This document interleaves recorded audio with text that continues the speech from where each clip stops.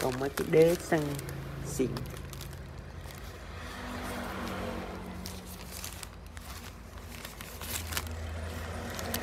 Đế này nó như kiểu là đế đế, đế zin nha mọi người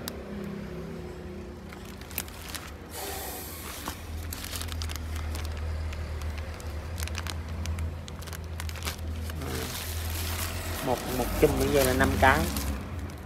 Chùm như vậy là năm cái. Còn mấy chùm nữa mình